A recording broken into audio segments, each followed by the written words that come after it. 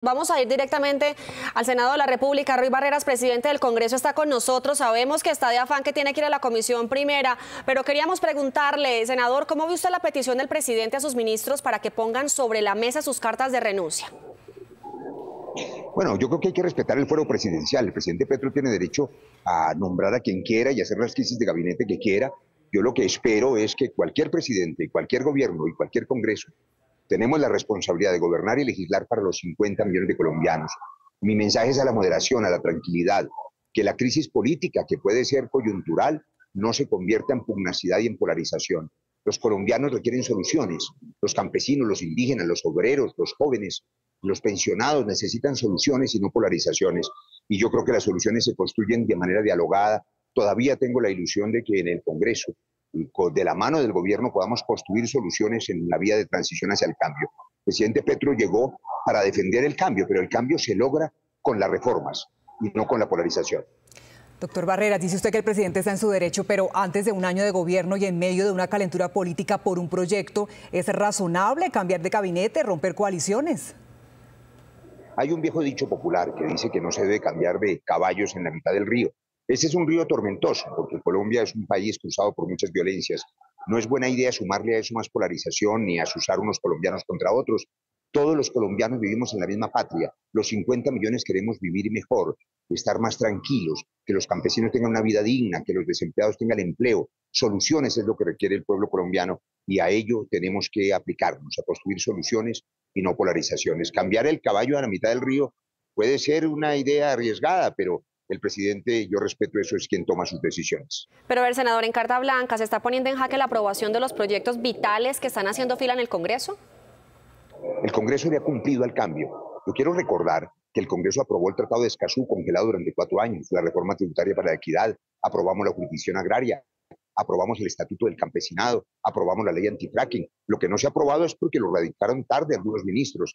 No creo que esta crisis deba poner en riesgo el cambio razonable y responsable, que es lo que esperan los 50 millones de colombianos. Reitero que el cambio debe servir para mejorar la calidad de vida de todos y no de unos pocos, y que solamente concertando entre todos se logra ese cambio. El Congreso fue elegido por más de 20 millones de colombianos y por supuesto allí estamos todos, los indígenas, los afros, los campesinos, las mujeres, los jóvenes, los estudiantes.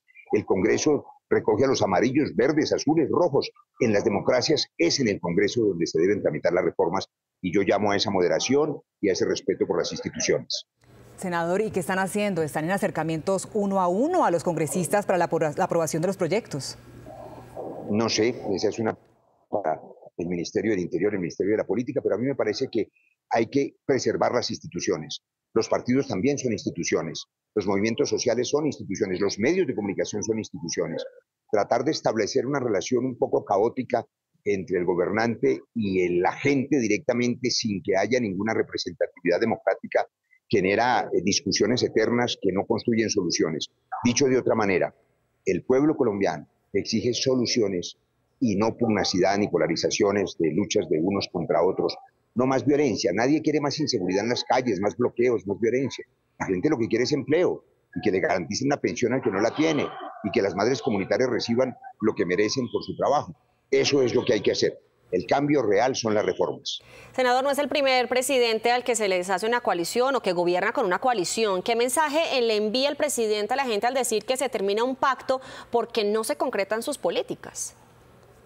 No, pero sí es el primer gobierno desde que yo tengo memoria que en una muy temprana edad, es un gobierno de apenas ocho meses, decreta el fin de una coalición de gobierno. Yo quiero recordar dos cosas. Todo gobierno, en cualquier democracia, debe simbolizar la unidad nacional, no la polarización. Y lo segundo, los gobiernos necesitan y deben transmitir estabilidad, tranquilidad. Y esa estabilidad se basa en dos pilares, la gobernabilidad y la favorabilidad. Cuando esas dos cosas se debilitan, es difícil para los gobiernos lograr los cambios que el pueblo colombiano merece.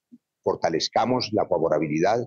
El presidente Petro no se hizo elegir para que todo siga igual, sino para hacer un cambio, pero el cambio tiene que ser responsable y fortalezcamos la gobernabilidad, logrando diálogos y consensos, que es la manera democrática de hacer las reformas. Usted está hablando mucho de eso, de construir, de soluciones, de un llamado a la moderación, a la unidad nacional, a la estabilidad. ¿Ese llamado es al presidente, senador?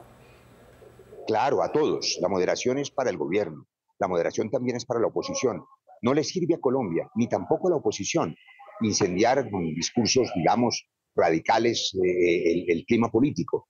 A nadie le sirve más violencia ni más confrontaciones de unos colombianos contra otros. ¿Movilizaciones contra quién? Digo yo. Contra otros colombianos. Construyamos las reformas como lo hemos venido haciendo. El presidente Petro sigue contando con nosotros y con el Congreso en el camino de hacer las reformas en el marco institucional. Mientras haya institucionalidad, hay caminos para resolver los problemas. Pues, senador Roy Barrera, le agradecemos su tiempo aquí en Noticias Caracol para conocer su posición frente a esta crisis ministerial. Con mucho gusto, seguimos trabajando. Feliz tarde para todos.